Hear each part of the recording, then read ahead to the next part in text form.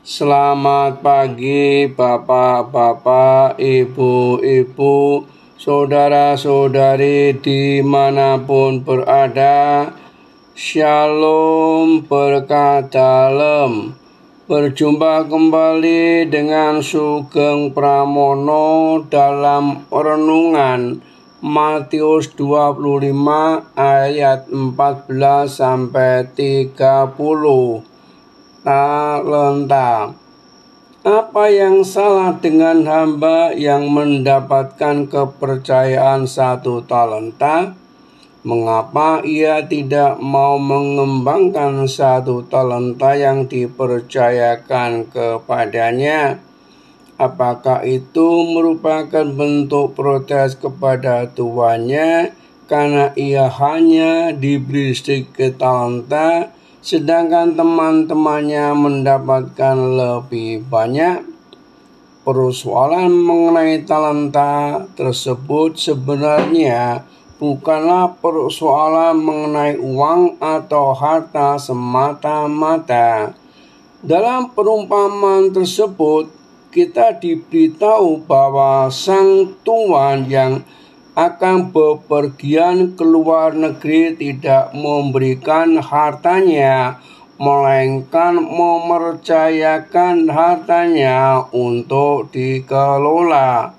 Tuhan itu bukanlah pilih kasih, ia mempercayakan sejumlah harta yang berbeda kepada setiap hamba sesuai dengan kemampuan mereka. Ayat 15 Bagi sang tuan mempercayakan pengelolaan talenta itu adalah semacam ujian yang pada akhirnya akan menentukan apakah para hamba tersebut layak dipercaya mengerjakan perkara-perkara tanggung jawab yang lebih besar. Ayat 21, 23.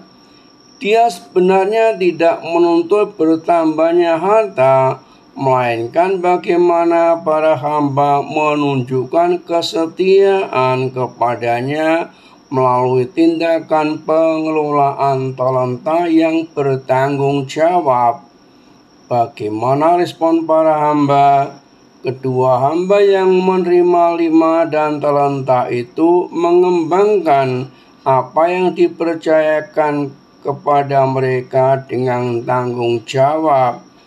Keduanya berhasil mengembangkan apa yang dipercayakan kepada mereka 100%. Ya 20 dan 22.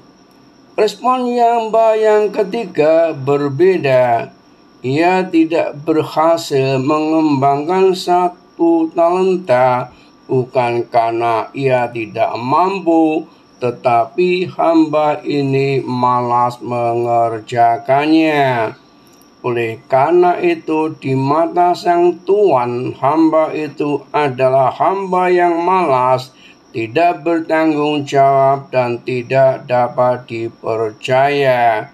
Bertanggung jawab dalam pekerjaan dan pelayanan adalah cermin dari kesetiaan kita kepada Tuhan. Kesetiaan seharusnya ditunjukkan dengan mengerjakan pekerjaan atau pelayanan kita sebaik mungkin. Sesederhana apa pun pekerjaan kita, Kerjakanlah dengan sungguh-sungguh dan penuh rasa tanggung jawab. Salam dan doa Sugeng Pramono, terpujilah Tuhan selama-lamanya. Amin.